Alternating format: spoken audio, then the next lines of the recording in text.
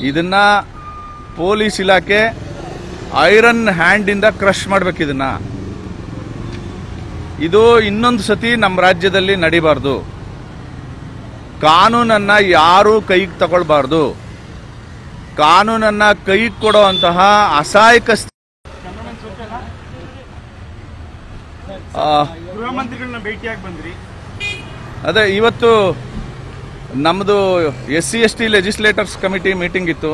ಪ್ರತಿ ಬುಧವಾರ ನಡೆಯುತ್ತೆ, ಹಾಗಾಗಿ ಬಂದಿದ್ದೆ ಹಾಗೆ ಹೋಮ್ ಮಿನಿಸ್ಟರ್ನ ಭೇಟಿ ಮಾಡಲಿಕ್ಕೆ ಬಂದೆ.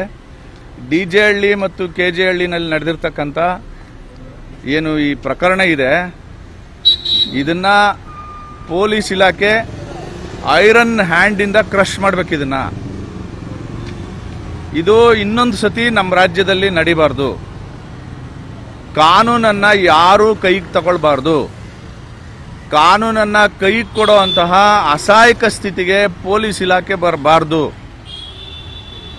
ದಯಮಾಡಿ ಸ್ಟ್ರಿಕ್ಟ್ ಆಗಿ ಆಕ್ಷನ್ ತಗೊಳ್ಳಿ ಅಂತ ಹೇಳಲಿಕ್ಕೆ ಬಂದಿದ್ದೀನಿ. ಇದ್ರ ಜೊತೆಗೆ ನಾನು ಇವತ್ತು ಮಾನ್ಯ ಗೃಹ ಸಚಿವರ ಜೊತೆ ಮಾತಾಡಿದ್ದೇನು ಅಂತಂದ್ರೆ ಸೋಷಿಯಲ್ ಮೀಡಿಯಾ ಬಂದ ಮೇಲೆ ಸಾಕಷ್ಟು ಜನ ನೆಗೆಟಿವ್ ಪರ್ಸನಾಲಿಟೀಸು ವ್ಯಕ್ತಿಗಳ ಬಗ್ಗೆ, ಸಮುದಾಯಗಳ ಬಗ್ಗೆ ಲೀಡರ್ಸ್ ಬಗ್ಗೆ ಚಾರಿತ್ರ್ಯ ವಧೆ ಮಾಡುವಂತಹ, ಅವರ ಚಾರಿತ್ರ ಹರಣ ಮಾಡುವಂತಹ ಕೆಲಸವನ್ನು ಎಲ್ಲೋ ಕೂತ್ಕೊಂಡು ಮಾಡ್ತಾರೆ. ಅದಕ್ಕೆ ಯಾವುದೇ ಸಾಕ್ಷಿ ಇರಲ್ಲ.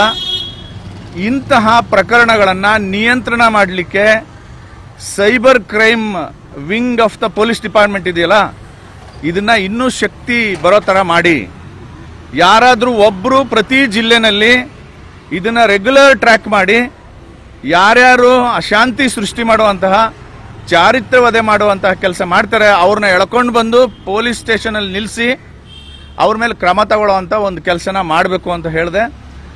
ಸನ್ಮಾನ್ಯ ಮಂತ್ರಿಗಳು ಒಪ್ಕೊಂಡಿದ್ದಾರೆ. ಪ್ರತಿ ಜಿಲ್ಲೆನಲ್ಲಿ ಈ ಸೈಬರ್ ಕ್ರೈಮ್ನ ಆಪರೇಟ್ ಮಾಡಲಿಕ್ಕೆ ಒಬ್ಬ ಸ್ಪೆಷಲ್ ಪರ್ಸನ್ನ ಅಪಾಯಿಂಟ್ ಮಾಡ್ತೀನಿ ಅಂತ ಕೂಡ ಹೇಳಿದ್ದಾರೆ. ಈ ಸೋಷಿಯಲ್ ಮೀಡಿಯಾದಲ್ಲಿ ಬರುವಂಥ ನೆಗೆಟಿವ್ ಮೆಸೇಜ್ಗಳನ್ನು ನಿಯಂತ್ರಣ ಮಾಡಲಿದ್ದ, ಮಾಡಲಿಲ್ಲ ಅಂತಂದರೆ ಸಾಮಾಜಿಕ ಅಶಾಂತಿ ಸೃಷ್ಟಿಯಾಗುತ್ತೆ. ಈಗ ನನ್ನ ಮೇಲೇ ಒಂದು ನಾಲ್ಕೈದು ಜನ ರೆಗ್ಯುಲರ್ ಆಗಿ ಒಂದು ವರ್ಷದಿಂದ ನನ್ನ ಮೇಲೆ ನೆಗೆಟಿವ್ ಮೆಸೇಜ್ ಆಗ್ತಾ ಇದ್ದಾರೆ. ನಾನು ಇವರು ಸಣ್ಣ ಹುಡುಗರು, ಹಾಳಾಗ್ಲಿ ಬಿಡು ಅಂತ ನಾನು ಬಿಟ್ಬಿಟ್ಟಿದ್ದೆ. ಈಗ ಇದು ಜಾಸ್ತಿ ಆಗಿದೆ. ಪೊಲೀಸವರು ಕರೆದು ಹೇಳಿದ ಮೇಲೂ ಜಾಸ್ತಿ ಆಗಿದೆ. ಹಾಗಾಗಿ ಇವತ್ತು ರಾಮನಗರ ಎಸ್ ಪಿ ಜೊತೆ ಇಲ್ಲಿಂದನೇ ಮಾತಾಡಿದ್ದೀನಿ. ಇಂಥವ್ರನ್ನ ನಿಯಂತ್ರಣ ಮಾಡಿಬಿಟ್ರೆ ಆಟೋಮೆಟಿಕ್ ಆಗಿ ಸಮಾಜದಲ್ಲಿ ಶಾಂತಿ ಉಳಿಯುತ್ತೆ. ಇದನ್ನ ಮಾಡಲಿಕ್ಕೆ ನಾನೊಬ್ಬ ಸ್ವತಂತ್ರ ಎಂ ಎಲ್ ಎ ಆಗಿ ಸಂಪೂರ್ಣವಾಗಿ ನಿಮ್ಮ ಜೊತೆ ಸರ್ಕಾರದ ಜೊತೆ ಇರ್ತೀನಿ.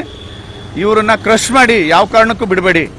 ಮತ್ತೆ D J Halli, T J Halli ಹಿನ್ನೆಲೆಯಲ್ಲಿ ಇರ್ತಕ್ಕಂಥ ಯಾರೇ ಆಗಿರಲಿ ರಾಜಕಾರಣಿಗಳು, ಅದು ಯಾರೇ ಕೈವಾಡ ಇರಲಿ ಅವರೆಲ್ಲರನ್ನೂ ಕ್ರಶ್ ಮಾಡಿ ಹೊರಗಡೆ ತರುವಂಥ ಕೆಲಸವನ್ನ ಮಾಡಿ ಅಂತ ಮಾನ್ಯ ಮಂತ್ರಿಗಳಿಗೆ ನಾನು ಮನವಿ ಮಾಡಿದ್ದೇನೆ. ಅಖಂಡ ಶ್ರೀನಿವಾಸ ಮೂರ್ತಿ ಅವರ ಮನೆ ಮೇಲೆ ದಾಳಿ ಆದ್ಮೇಲೆ ಎರಡೂ ಪಕ್ಷಗಳು ದಲಿತ ಟ್ರಂಪ್ ಕಾರ್ಡ್ನ ಯೂಸ್ ಮಾಡ್ತಾ ಇದಾರ ದಲಿತ ಟ್ರಂಪ್ ಕಾರ್ಡ್ ಪ್ರಶ್ನೆನೇ ಅಲ್ಲ ಇದು.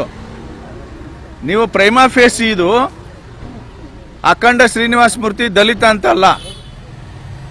ಒಬ್ಬ ಎಂ ಎಲ್ ಎ ಮನೆಗೆ ಅವ್ರು ಯಾರಾದರೂ ಆಗಿರಲಿ ಮೀಸಲು ಕ್ಷೇತ್ರದವ್ರು ಇರಲಿ ಅಥವಾ ಜನರಲ್ ಕಾನ್ಸ್ಟಿಟ್ಯೂನ್ಸಿಯವ್ರು ಇರಲಿ ಒಬ್ಬ ಎಂ ಎಲ್ ಎ ಮನೆಗೆ ಹೋಗಿ ಬೆಂಕಿ ಹಾಕೋ ಸ್ಥಿತಿಗೆ ಬರ್ತಾರೆ ಅಂತಂದ್ರೆ ಇವ್ರು ಎಂತ ಕ್ರಿಮಿನಲ್ಸ್ ಇರ್ಬೋದು ಅನ್ನೋದನ್ನ ಅರ್ಥ ಮಾಡ್ಕೋಬೇಕಾಗ್ತದೆ.